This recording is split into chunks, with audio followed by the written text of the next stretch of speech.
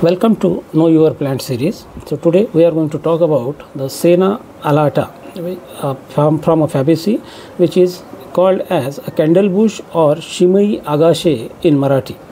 A shrub which stands 3 to 4 meter tall with a compound leaves 50 to 80 centimeter long. Leaflets are 6 to 12 pairs oblong at base and the tree with a rounded tips. The inflorescence is spike, looks like a yellow candle. That's why the common name candle bush. The fruit, a straight pod, which is winged, dark brown or nearly black, is up to 20 to 25 centimeters long. Pods contains 50 to 60 flattened triangular seeds. This plant has a medicinal uses and it possesses uh, fungicidal properties and used for treating ringworms and other fungal infection of skin. Leaf paste is applied along with the vegetable oil on the affected area two or three times a day.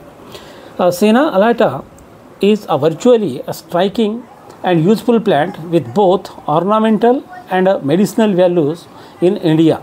Is cultivated and naturalized in India nowadays.